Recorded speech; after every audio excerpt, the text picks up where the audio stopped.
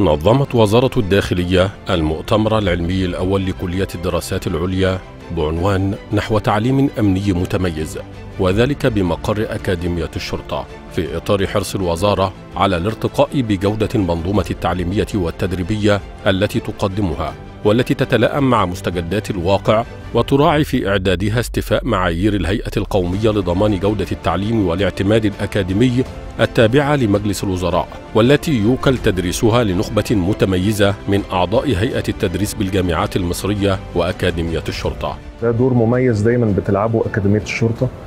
آه العنوان بتاع المؤتمر تعليم آه أمني مميز. الحقيقة ده في دورته الأولى وأكاديمية الشرطة مؤسسة أكاديمية عريقة والحقيقة هي متسقة مع جميع نظم الجودة اللي بتتماشى عليها أي مؤسسة أكاديمية في مصر. أكاديمية الشرطة من أوائل الأكاديميات اللي بدأت في مشوار ضمان الجودة والاعتماد.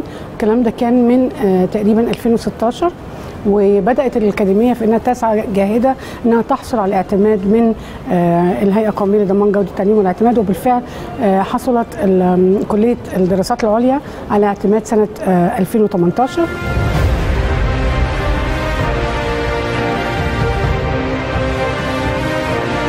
تناول المؤتمر والذي يعد الأول من نوعه الذي تنظمه وزارة الداخلية عدة محاور خلال جلساته. في مقدمتها استراتيجية التعليم الأمني الأكاديمي ودور جودة التعليم في تطوير التعليم الأمني في العصر الرقمي وعلاقة مفهوم المواطنة بضمان جودة المنتج الأمني.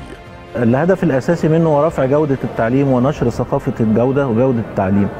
المؤتمر النهارده بيجمع نخبة من الشخصيات والتركيز هو على جودة التعليم والتعلم فيما يخص المنظومة الأمنية.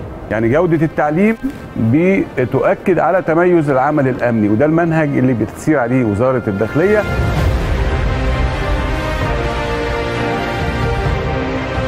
وقد أجمع المشاركون على أن أكاديمية الشرطة تسير بخطى جادة محددة الأهداف في دعم عمليات التعاون والتنسيق مع مختلف المؤسسات والجامعات المصرية من خلال إبرام بروتوكولات تعاون مع عدد من الكليات لمنح الماجستير وشهادة أساسيات التحول الرقمي لطلاب كلية الشرطة باعتبارها من متطلبات الارتقاء بالقدرة التعليمية.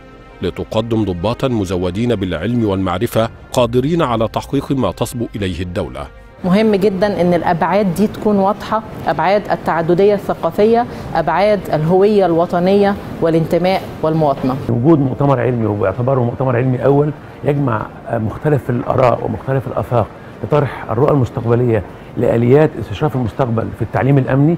ده هيطرح هيضع كليه الدراسات العليا وهي المختصه بالماجستير والدكتوراه وعمل البحوث لأنها تدخل إلى آفاق المستقبل. أثمر المؤتمر في ختام فعالياته عددا من التوصيات في مقدمتها تبني تقنيات الواقع الافتراضي لبرامج التدريب والتعليم الشرطي للارتقاء بجودته في عصر الرقمنة وتوفير التدريب المستدام طبقا للاحتياجات الأمنية والتعليمية.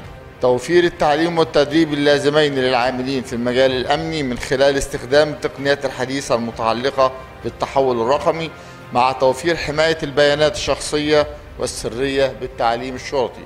يأتي انعقاد هذا المؤتمر تتويجا لجهود تبذلها وزارة الداخلية لتطوير منظومة التعليم الفني وتوفير كافة المقومات اللوجستية والتكنولوجية اللازمة من أجل إعداد رجل شرطة عصري مسلحا بالعلم والتدريب لمواجهة المستجدات الأمنية.